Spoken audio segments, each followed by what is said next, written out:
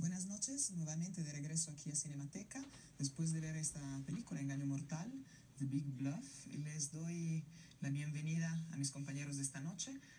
Jorge Linares, bienvenido. Hola Eva. Y como les había anunciado, también el invitado de esta noche, Mauricio Porras. Muchas gracias. Que ya ha estado Cinemateca aquí con nosotros, es psicanalista, parte del Centro de Estudios Psicoanalíticos Mexicanos, Sí. pero también comunicólogo y docente en, bueno, en varias disciplinas, ¿no? Experto desde, Sí. desde el cine, la música, las Sí. artes en general. Así que tenemos muchas cosas de las que hablar Muchas cosas. hoy en la noche. Y en ese que, que les dije, bueno, es una, una serie dedicada al cinema negro, al, al tema del asesinato. Y, y bueno, una película muy disfrutable y que sí tiene todas esas características de, bueno, del, del film noir, sin embargo, que bueno, muestra una sociedad particular para la época. Sí, porque de alguna forma es, es un tema muy, muy especial, ¿no? Que inclusive a la fecha es como muy de hacer ruido, ¿no? De alguna manera, digamos, estamos acostumbrados ahora quizá que las mujeres eh, levantan la voz, se enuncian, se empoderan y qué bueno, ¿no? Que, que lo logran. Pero es bien interesante estar como en 1955 la Guerra Fría, bombas atómicas, ¿no? En Nevada, ¿no? Esperando a ver qué sucede. Las mujeres, pues reprimidas en casa, lavando los trastes mientras el marido se va a trabajar, ¿no? Y en esta película es interesante que nos muestran a una mujer que, bueno, por horas del destino se vuelve la única dueña de varias empresas, es adinerada, tiene de alguna forma, ¿no? Eh, un padecimiento se enamora de un hombre que pareciera que le cae como anillo al dedo en ese momento en que ella está como enterándose de todo esto, pero este hombre tiene una particularidad bien especial, ¿no? Como lo decías, no es todo un don Juan, pero es un don Juan bien manipulador, ¿no? Es un estafador, ¿no? Y de alguna forma esos temas es lo que llama mucho la atención. Para 1955, hablar de eso, ¿no? De alguna manera, el abuso de las mujeres de una manera como tan ligera, ¿no? Aunque fuera tan ligera, es como hacer mucho ruido. Y es bien interesante que este hombre se atreve a hacer esa trama, ¿no? Y de alguna forma, pues lo muestra, insisto, de una forma tan sencilla, con un final, efectivamente, eh, estoy seguro que este hombre, ¿no? Introduciéndonos más en la fantasía de la película, no tenía la intención de matar a esta mujer, porque ya esta mujer se iba a morir. Claro. Pero cuando le dicen, oye, ¿qué crees? Fíjate que pues tu mujer va mejorando. No, pues ¿qué pasó? Si lo que debería suceder es al revés, ¿no? O sea, ¿cómo? El plan era que se muriera. Y pues ¿cuál va siendo el chiste? Que pues va, ¿no? O sea, acaba con ella y le dicen, ¿qué crees que ya cuando la disparaste estaba muerta? Híjole, ¿no? Qué mal chiste, ¿no? Pero eso es lo interesante, ¿no? Encontrar un personaje que de alguna forma pareciera tan sencillo estar en el romance, prometerle su amor a dos mujeres, ¿no? Y de alguna forma el chiste se le cae al final. Él termina siendo el preso. Totalmente, ¿no? Hay ese, ese cambio de, de plan sorprendente y finalmente todo el engaño resulta un engaño muy torpe, además Sí, que exactamente. Fíjate, eso también es otra como característica de este personaje, ¿no? Porque se le van escapando como ciertos puntos, ¿no? Uno quizá en, en estas tramas está acostumbrado, no sé, ¿no? Como a, a las mentes criminales como de Hannibal, ¿no? Personajes así bien siniestros, ¿no? Y de alguna forma este hombre va así como que, bueno, pues a lo que me lleve la marea, al fin esta mujer se va a morir, ¿no? Entonces no hay problema. Y cuando tiene que ponerle más inteligencia al asunto, se le resbala todo, ¿no? Claro, en eso es, es interesante, es particular, evidentemente también es una película de, bueno, valores de producciones, contenidos, no, no, no, no de, de, de, de- big budget, pero mezcla también cosas y elementos de otro tipo de géneros, no es realmente una película de cine noir puro, En- tenemos un momento de baile, ¿no? Que Sí. tiene que ver con, bueno, con, bueno, con otro género de otra época incluso. Sí, hay, hay aquí una mezcla de, de- situaciones que va generando la propia historia que permiten, le permiten al director hacer estos guiños con diversos géneros cinematográficos. A mí lo que me llama mucho la atención es esta situación del, de que, eh, como en algunas otras películas, podemos intuir o saber perfectamente el desenlace y sin embargo esta vuelta de tuerca y esta circunstancia en la que él se ve al final este llama mucho la atención pues no o sea nos va llevando nos va transportando hacia el final que nosotros sabemos que se va a dar. Y entonces de pronto convierte o modifica la situación del propio protagonista de ser un seductor, un aprovechado de la situación, a ser eh, la víctima, digamos, de cierta manera, ¿no? De, de, de, de, la trama en general. Interesante en la construcción del personaje, porque sí es un don Juan, y sin embargo a la, al amante le como fiel, porque hubiera podido más fácilmente disfrutar de la riqueza de la bella Sí. mujer, esposa, Ujú. y vivir la vida como siempre eh, él quisiera, pero no, el problema es que tiene que cumplir con el sueño de amor Ujú. de, de la mujer que no le pertenece porque, porque bueno, porque ella es esposa de, del que, de, quien, de quien resulta ser luego el asesino. Sí, exactamente, ¿no? Y eso es justo, ¿no? Parte de ahora sí de cómo giran las tuercas al final y de cómo la máquina se le descontrola, ¿no? Porque él que piensa, bueno, al menos, ¿no? Como diría mi abuela, este, pues se quedó como el perro las dos tortas, ¿no? Sin una y sin la otra, ¿no? Él piensa que de alguna manera va a regresar con esta mujer y también, entre comillas, eso es lo que estamos viendo, ¿no? A mí justo cuando acabé de verla dije, ¿qué, qué tan interesante sería que hubieran logrado hacer una segunda parte? ¿Qué hubiera pasado, no? Entonces, eh, dices, él en la cárcel hubiera salido, se hubieran dado cuenta de que él lo mató, ¿no? A, a- a su amante en Palm Springs, ¿no? Eh, que a lo mejor y sí descubren que por acá este, mató tal cual a su mujer, pero ¿qué más hubiera sucedido? Y lo interesante también dije, bueno, ¿y qué tal que, ok, ¿no? Logra zafarse de la muerte de su esposa y logra hacer una vida con esta otra mujer. ¿También le sería fiel o no le sería fiel? ¿Andaría haciendo esas cosas otra vez o no? Y eso es lo interesante, porque muchas de las personas que tienen esta, este carácter, de alguna forma es inevitable que sigan jugando, ¿no? Quieren así como arriesgarse, arriesgarse. Y es como esto de a mí nunca me va a pasar, yo voy a seguir jugando. Y lo interesante es todo se le va. Dice que hace esta planeación de los vasos, de la eh, chapa de la puerta, ¿no? Y que vete a tal hora y etcétera. Pero se le voltean las cosas, ¿no? Y sí, como dicen, ¿no? Es interesante que no es una película que tenga un gran presupuesto, pero es interesante que estas cosas se estén diciendo ahí, ¿no? Algo que también me llama mucho la atención, ¿no? Con The Blue Wilder es que su género en sí prácticamente es el sci-fi, ¿no? O sea, era el inicio de, de la ciencia ficción. Y lo interesante acá es que pareciera que este guion lo tenía por ahí guardado y en cierto momento le dicen, ok, ahora sí haz algo lo que tú hayas traído, ¿no? Algo que nazca tal cual de ti, ¿no? Y haz esta historia, ¿no? Estos personajes de alguna forma, ¿no? Este marido que está celoso porque sabe que si hay algo con su mujer que es bailarina y de alguna forma empieza a hacer este cuadro, ¿no? Intrigas y demás. Y de alguna manera, pues bueno, me- a mí me gusta muchísimo porque muchas veces cuando un director hace ciertos trabajos en un género, aunque quiera romper con él, digo que más claro que hasta Lucas, ¿no? Con Star Wars, ¿no? No se le permite y es más, muchas veces lamentablemente no se lo creemos cuando juega otra cosa, ¿no? Y aquí eso me, me agrada este hombre, ¿no? Él se permitió, sea para qué circunstancias de alguna manera le dieron esa posibilidad, pero de alguna manera, ¡fum! logra hacer esto, ¿no? Muy interesante con este personaje, ¿no? Claro, claro, tienes toda la razón.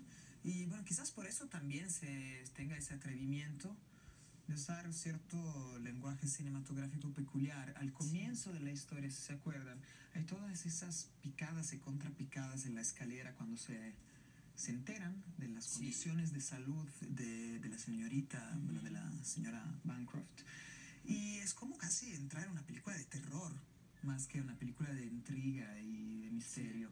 Entonces, que como que vie- viene de, de otra sensibilidad, está jugando mucho con ese aspecto psicológico. Sí, sí, él como que tiene por ahí, dices, ese tacto, ¿no? Para saber cómo hacer más de intriga, de suspenso las escenas, ¿no?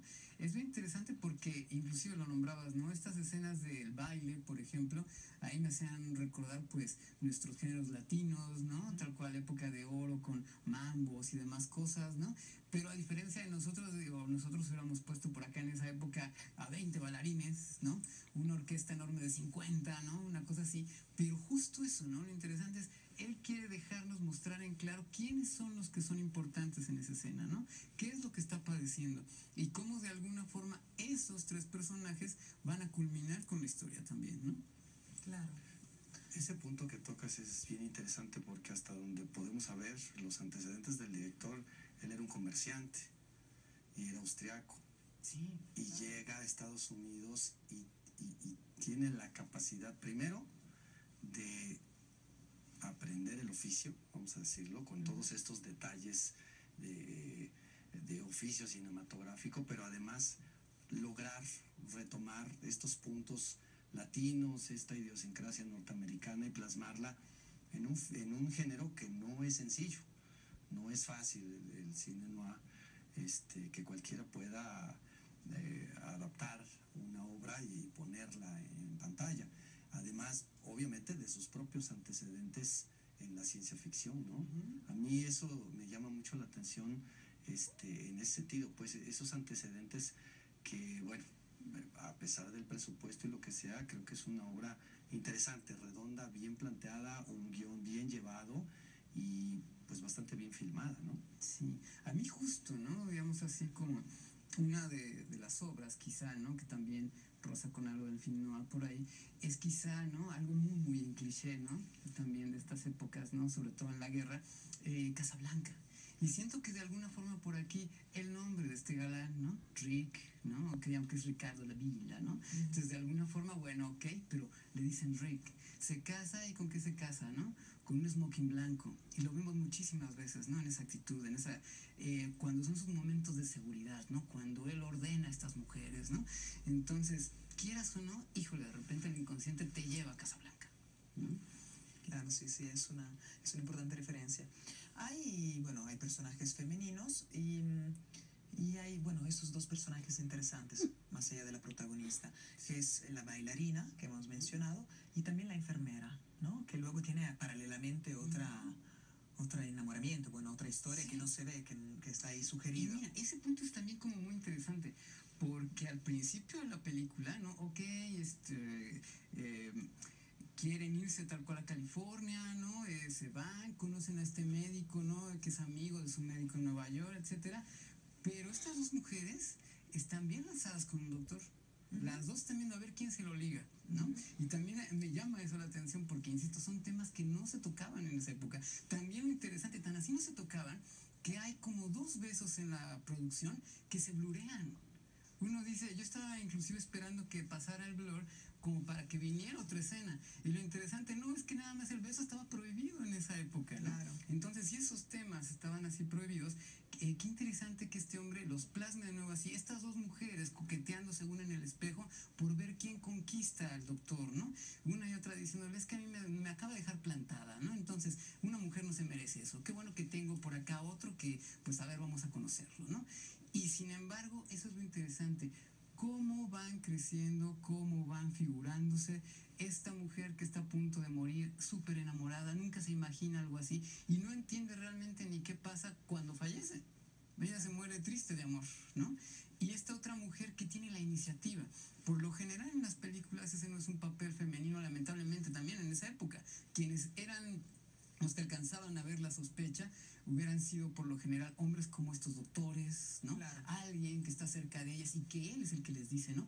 No, ¿por qué se acercan tanto a este hombre? Mírenlo, no le tengan confianza. Y todas caen rendidas frente al coqueteo de este varón, ¿no?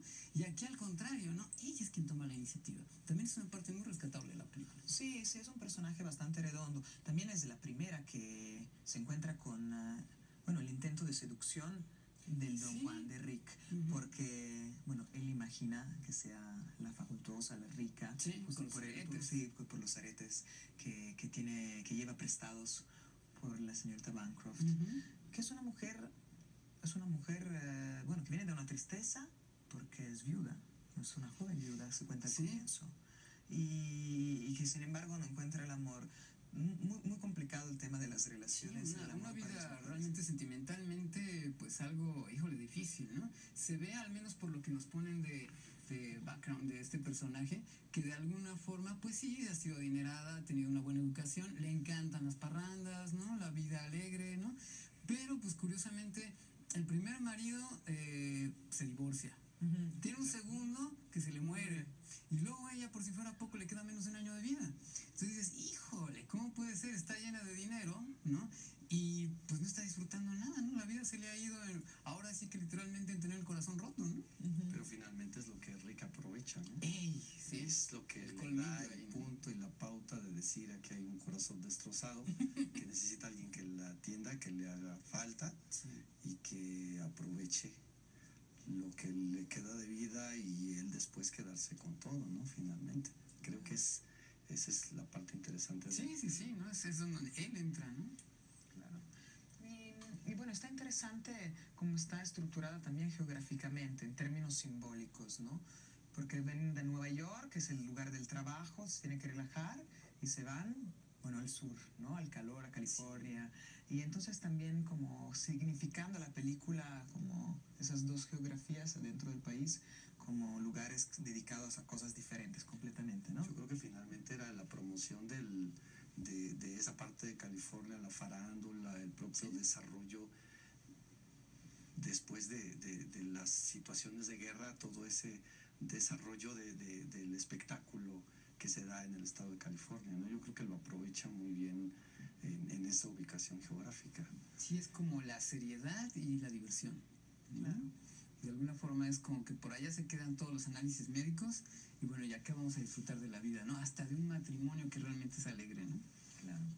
Bueno, en la construcción de los personajes del guion hay alguien que realmente se, se queda como, como un personaje apenas dibujado, que es el marido, bueno, que al fina- al final termina teniendo la acción que no vemos, pero que es un personaje muy oscuro y que, que- que no habla prácticamente. ¿no? Sí, Que solamente la se- bailarina. Sí, el marido de la bailarina. Eh, completamente, eh, bueno, sin palabras, pero controlador, también es el engañado, Sí, pero es como una figura muy, muy oscura. Y, y tiene una parte también como de caracterización exóti- exótica, ¿no? Es una... eh, no sabemos de qué nacionalidad. ¿no? Sí. No sé. parece, no, ahora sí que nos dejan saber como entre líneas, ¿no? Él quiere, según ir de gira a Sudamérica, entonces parece que por allá hay algo de esto, ¿no? Pero no nos lo certifican. Y de alguna forma sí es como un personaje que queda eh, relegado, que bien se hubiera podido aprovechar, quizá un poquitito más, ¿no? Porque lo único que, que tenemos de él es que es como muy perseguidor, ¿no? Eh, pareciera en cierto momento, inclusive al inicio de la película, que está como algo paranoico, digámoslo así, ¿no? O sea, pues hoy está platicando con este chico que tiene, ¿no? Ahora sí que si trabaja ahí, se vende el diario, pues ¿qué tendría de mal? Pero lo interesante es que ya después de 10 minutos decimos, no, pues es que sí hay otras cosas, ¿no? Con razón tiene esos celos, ¿no? Pero sí, efectivamente, porque inclusive siento que, que de todos los personajes es uno que hasta cuando va a atacar a Rick, ¿no? En su propia casa, ¿no? Lo hace como muy frágil, ¿no? Alguien que, que realmente quiere, pues, atacar a alguien, pues se le va encima, ¿no? no le amenaza de, oye, ¿dónde está mi mujer? Si ya tienes la seguridad de que tu mujer se fue con este hombre, eh, este hombre lo sabe, y llegas con un cuchillo, pues te vas encima del otro, ¿no? Ya estás ahí perdiéndolo todo, ya estás en guerra, ¿no? Entonces vas, ¿no? Tal cual lo que diría mi abuela, lo que te truje chancha, ¿no? Y de alguna forma es, no, se queda así como de, pues a ver, dime, ¿no? Como si le estuviera pidiendo por favor que le dijera en qué dirección está su mujer. Entonces realmente sí, es alguien que de alguna forma hubiera podido darnos como un poquito más de información. Y a lo mejor quizá, ¿no? Con este aire que están dando como entre líneas de que tuviera algo de latino, pues al menos a enganchar este mercado también, ¿no? Claro, claro. Bueno, o sea, tienes todos esos elementos, ¿no? De, del género eh, de film noir, con muchos guiños a otros a producciones cinematográficas. Y bueno, por cierto, entre esos elementos fuertes de, de las películas de intriga de pasión, hay unas mujeres bellísimas, porque las tres son, son muy bellas. Sin embargo, ninguna actriz particularmente conocida, quizás por quizás Marta, Marta Vickers, quien ah, sí había figurado en algunas películas como The Big Sleep y cosas de ese tipo. Pero bueno, evidentemente la mujer fascinante en todas sus facetas, ¿no? Desde la bailarina a la, a la serie secretaria. Sí, yo creo que hay un muy buen casting, un, un elenco bien seleccionado, a pesar de que no son o no eran actores consagrados en la Ujú. época, ¿no? Creo que, creo que el casting es bastante bueno y cada uno cubre perfectamente bien su papel eh, como le, le corresponde en, en- en su actuación, ¿no? Sí, definitivamente. Dan lo que se les pide, ¿no? Claro. Sí, una película que hemos disfrutado muchísimo y bueno, me despido, se nos acaba el tiempo. Muchas gracias nuevamente. No, pues un honor estar acá. Aquí te vamos a volver a invitar. Es tu Muchísimas casa. gracias. Gracias a Jorge. Siempre. Y gracias a quien nos ha seguido en este miércoles, bueno, que ha seguido, quien ha seguido ese ciclo de miércoles de asesinatos, sigan la programación en Cinemateca, continuamos con películas de autor, con uh, grandes realizadores, grandes títulos. Y también envíen sus comentarios a nuestras redes sociales. Eh, ahí tienen todo el espacio también para participar en esa conversación. Les deseo una muy buena noche, no tengan pesadillas y, y hasta la próxima.